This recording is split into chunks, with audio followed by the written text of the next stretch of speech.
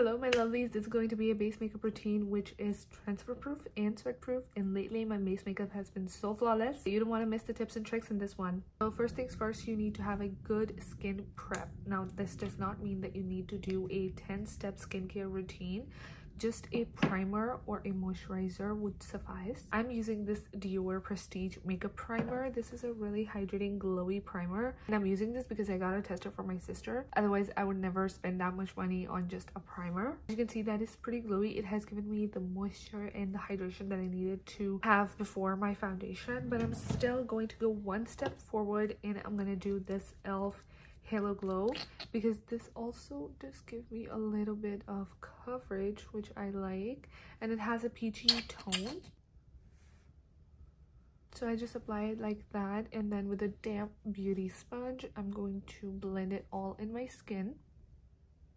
Honestly from a day-to-day -day basis i would just apply this elf halo glow and then do a little bit concealer under my eyes and that would be like my everyday makeup look also i did this eye makeup off camera so if you guys want a tutorial on this i would be happy to do it. Okay so now the next step is foundation and lately i've been loving this Haus Labs foundation. If you guys want to know my shade is 280 light medium neutral and what i do is just four little pumps like this and then go directly in with my damp beauty sponge. The shade match is so beautiful. Oh my god and I like this because it gives me like enough coverage without making my skin feel heavy or cakey and you're gonna see that in a minute. And it's super easy to blend. You know i have hyperpigmentation around my mouth and it has covered that so beautifully. I could essentially apply it under my eyes as well and it would like give me a one tone complexion but because I like highlighted under eyes that is why I use a different shade of concealer. After foundation the next step for me is always contouring. So I'm gonna use this elf it and it's not elf it's milk in the shade baked. I'm going to carve out some cheekbones a little bit on my nose. I don't do too much of this because then I do cream bronzer and powder bronzer. So that gives me a really nice um, bronzy look just lightly and it blends like a dream. I was looking for my Makeup by Mario bronzing stick and I couldn't find it anywhere then I realized I gave it to my mom so I need to go repurchase that because that one also blended so beautifully. Now that this contour is done, next step is cream blush and I'm going to use this Haus Labs, no, why am I saying all names wrong? This is the Hourglass Unreal Liquid Blush. They recently came out with this. This is in the shade Scene and I love it so much. It's kind of tricky to work if you have long nails, which I don't. What the hell is happening? I need to shake this. There we go. Oh my god. Just gonna ignore that. I feel like this I need to blend with a brush because it really did not give me any color. Maybe I need to shake it more. I think it would be better if I take it out on my hand because you can never have too much blush. Now I'm gonna take my blush brush, which is this e.l.f. Putty Blush brush, and I'm gonna blend it. Okay, now there we go. Now I see some color. You know, with um, bold eye looks, like this one that I've done, I think a lot of blush looks good. I'm never too afraid to apply too much liquid blush because I do my concealer afterwards because if you go too overboard with your blush you can always tone it down with the concealer. Honestly my skin looks so glowy right now. I wish I could go out like this like a full glazed donut but okay for concealer i'm gonna use hourglass i feel like ever since i got this i have not been using any other concealer like this is just so good I got this for my sister as well.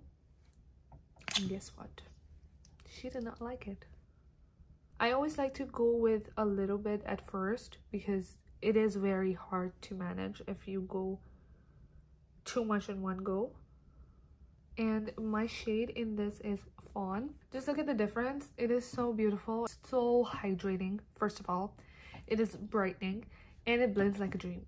Also, if you want even more coverage than this, the trick is to apply it, let it sit for like 15 seconds, and then blend it. and I'm blending it with my Haus Labs concealer brush. If you want a cheaper alternative, I have this Ulta Beauty buffing concealer brush.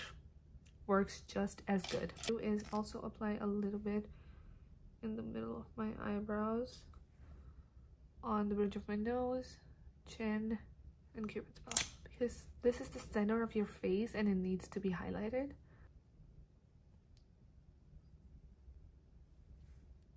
So the trick of applying the concealer on the bridge of your nose is kind of like if you don't know how to contour your nose, just put bronzer on your nose and then put your highlighting concealer on the bridge of your nose, blend it out in one straight line and it would kind of look like you've contoured your nose. It's kind of like the fake it till you make it. So this is a part which I don't like but I can't go out without it which is the powder. So I love how my skin is looking right now but y'all know if I go out in the Florida sun like this, it's gonna melt. Obviously, I'm using my Huda Beauty Easy Bake. And I'm going to powder down my whole face, basically. So this is before, after. And my Easy Bake is in the shade Pound Cake, especially around my nose. Because not only do I get oily, I also sweat not very demure also around my mouth as well because this area tends to crack when you sweat so if you guys don't know how to take this shit out just take the back of your brush swirl it around and so much product comes out. In the middle of my brows because they've been looking really oily. My face is powdered down. It's time to go in with some bronzer. I'm going to use this charlotte tilbury bronzer and just go over where we put our contour so like that. It is just so beautiful. I feel like this is the best money that i've spent on charlotte tilbury which is also a lie because i love all the other things they have. But this one is really really good. My forehead kind of gets on my hijab and my hijab cap as well.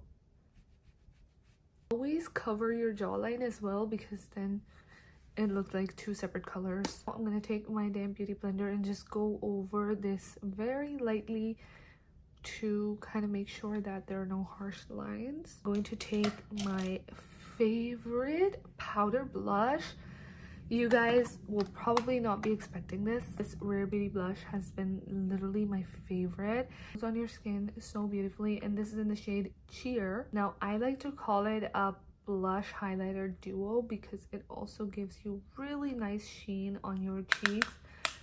Pigment? Oh my god it is super pigmented so make sure you go very lightly. And you're gonna see what i'm talking about. Now look at that look at that. Isn't that the most beautiful gorgeous blush shade?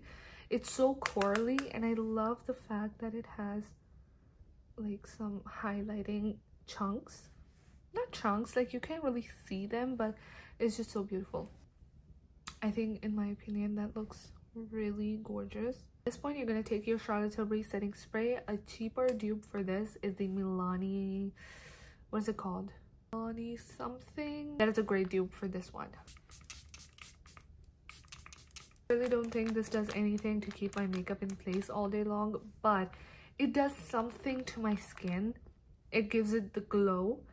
And for some reason my base makeup with this spray tends to like melt all together and it just looks so beautiful. I mean it does something. Now at this point i'm gonna do my lipstick Huda Beauty 2.0 terracotta so i'm gonna use this NYX lingerie this is in the shade Lipley 02 such a beautiful nude shade for brown skin tones. I'm going to use this eyebrow pencil. I'm going to blend it all together. On top, I feel like just in the middle, I'm going to do a little bit of concealer. Now on top, I'm going to do the Summer Fridays Vanilla Beige Lip Balm. Gorgeous. Makeup is all complete. How do we make it transfer proof, you might ask? One/Size On 'Til Dawn this is what's gonna make it transfer proof I love the fact that it's a dry spray so you apply it on your eyes, your basically everywhere and it doesn't smudge your makeup. I really hope you liked this makeup. If you did, give it a like, leave your comment, and I will see you guys in the next one. Bye!